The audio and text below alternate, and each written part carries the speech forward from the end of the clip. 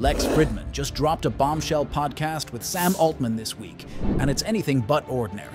Packed with updates and bold predictions for the year 2024, this talk is simply a goldmine. When is GPT-5 coming out again? Blink twice if it's this year.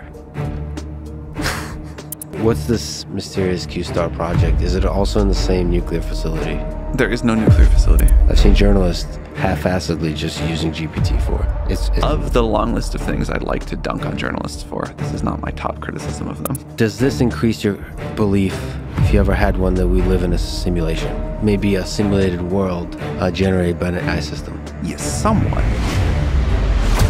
With over a million views in 48 hours, it's clear that this is the hot topic of the hour. But don't worry, you won't need to sit through the full two hours podcast. Our video has got you covered with all the juicy details in just eight minutes. From alien life to the latest on GPT-5 and Sora, and even Sam's take on the recent lawsuit from Elon Musk, we're diving deep into the controversies that are stirring the tech world.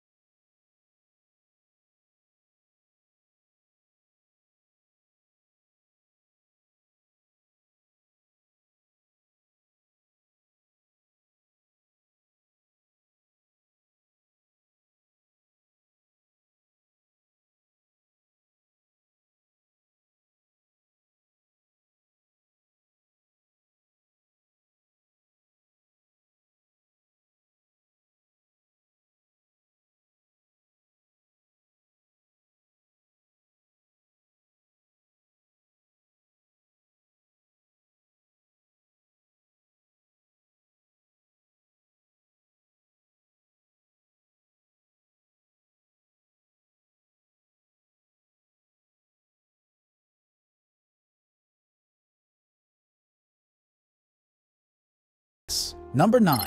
Q-Star. Lex asked Altman about the secretive Q-Star project at OpenAI. Though details are sparse, Q-Star is rumored to be a leap toward AI that can think step by step, like us humans. At first, Altman jokingly referred to there being no nuclear facility at OpenAI, playing along with Lex's joke about OpenAI keeping secrets. However, Altman then acknowledged that OpenAI has struggled with leaks, making it difficult to keep projects truly secret. He was trying to say that a leaked document describes Q-Star as an advanced chat system by OpenAI using energy-based models. Unlike typical models, Q-Star doesn't just throw out words randomly. It carefully selects responses by evaluating their compatibility with the conversation's context, making its interactions more natural and smarter. So when Lex directly asked about Q-Star, Altman did not provide many specifics. He said they are not ready to discuss it in detail.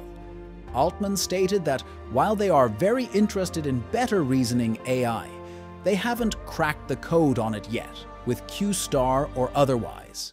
Reasoning, we haven't cracked the code yet. Uh, we're, in, we're very interested in it. Is there going to be moments, Q-Star or otherwise, where there's going to be leaps similar to ChatGPT? You know, part of the reason that we deploy the way we do is However, he did imply that Q-Star relates to OpenAI's interest in advancing reasoning capabilities in AI systems, which they see as an important area to pursue. Number 8. Predictions about AGI. In the interview, Sam Altman talked about artificial general intelligence and its timeline.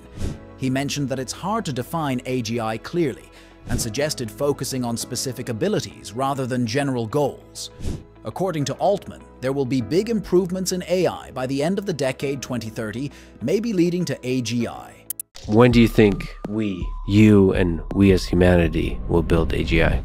is I expect that by the end of this decade, and possibly somewhat sooner than that, we will have quite capable systems that we look at it and say, wow, that's really remarkable.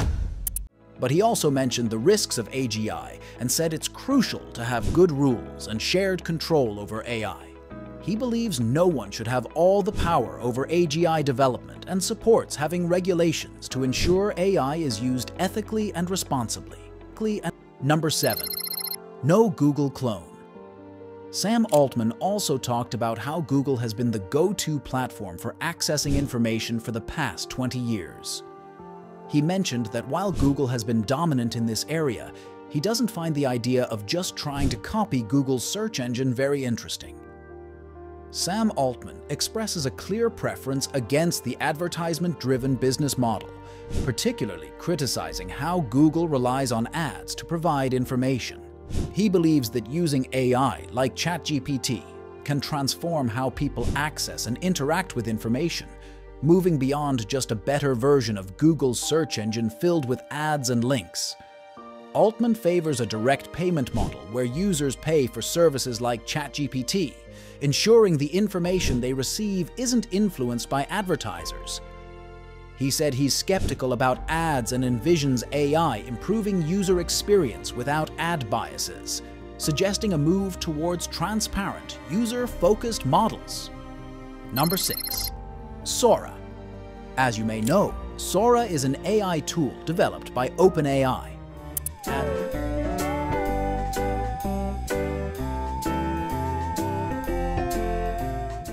It's a visual AI model that has garnered significant attention due to its remarkable ability to transform text instructions into captivating videos.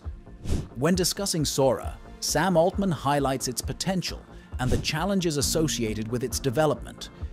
He mentions the need to address concerns about deep fakes and misinformation, while also ensuring that AI tools are used responsibly. Sam emphasizes the importance of thoughtful consideration in AI development and suggests that continued evolution in economic models will be necessary to address the impact of AI on various industries. Number 5. Legal dispute with Elon Musk. Elon is obviously attacking us on Twitter right now. I definitely grew up with Elon as a hero of mine. You know, despite him being a jerk on Twitter or whatever, I wish he would do more to look at the hard work we're doing to get this stuff right. Regarding Elon Musk's lawsuit against OpenAI, Sam Altman provides insights into the history of the situation.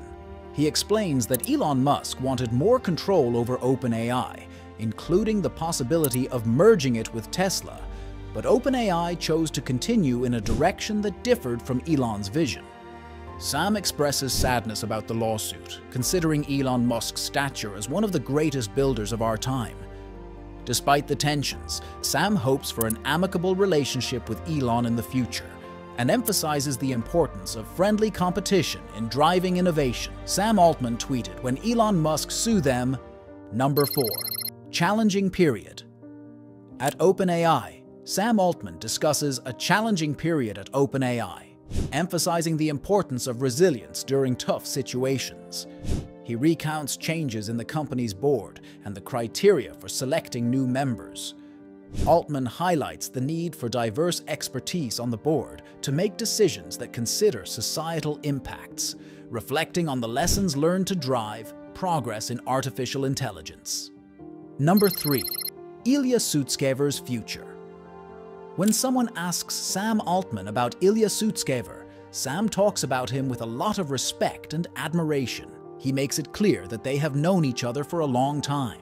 I love Ilya. I have tremendous respect for Ilya. I uh, I don't have anything I can like say about his plans right now. That's that's a question for him. Um, but I really hope we work together for you know certainly the rest of my career.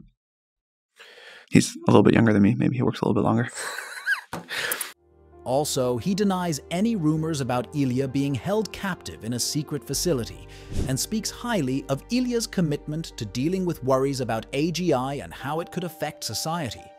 Sam points out that Ilya, like everyone else, hasn't actually seen AGI yet and praises him for being very serious about making sure AGI development is done safely. Number 2. 7 Trillion Chip Project Altman clarified that he had not tweeted about wanting to raise 7 trillion for a chip project. Instead, he explained that sometimes memes are used when misinformation circulates, but there was no specific tweet about needing such a large sum of money. Compute is the currency of the future. His belief is that computer power will become a valuable commodity in the future, potentially surpassing traditional currencies in importance. Meeting this demand presents a significant challenge due to energy requirements, data center expansion, supply chain development, and chip production. Number 1. Aliens. In the chat, Altman and Lex talk about the idea of aliens. I think, uh, as I mentioned before, there's other alien civilizations out there, intelligent ones. I deeply want to believe that the answer is yes. I do find a kind of where I, I find the Fermi paradox very, very puzzling. I find it scary that intelligence is not good at handling Yeah, it's very scary. powerful Yeah. technologies. Sam thinks there are probably lots of smart alien civilizations out there, even though traveling in space is hard. He says that AI might help us see intelligence in new ways. He sees hope in how humans have grown over time, noticing both our mistakes and our great achievements. He compares our progress as a group to how individuals get better by working together. Sam also talks about how he feels about life and the future. Instead of being scared of dying, he's thankful for life and curious about what's next. He mentions how amazing human creations are, like advances in AI such as ChatGPT. Other than that, Sam Altman also talks about various topics. For example, Sam Altman predicts that programming will evolve significantly in the next 5 to 10 years, with some programmers possibly using entirely natural language instead of traditional coding methods. He believes this shift will change the required skill set for programmers, but maintain the essence of problem solving in programming. Altman also envisions the best programmers using a mix of natural language and traditional coding. Additionally, he expressed interest in developing humanoid robots, or robots for physical tasks, highlighting a future where AI and robotics significantly intersect to extend AI's utility beyond digital spaces. So, that wraps up our discussion for today. We've covered all the key points in this short video. However, if you're curious about Sam Altman's personality, how he thinks, acts, and responds in various situations, I recommend watching the full podcast. Well, what do you think of this podcast? Comment down below and share your insights with us.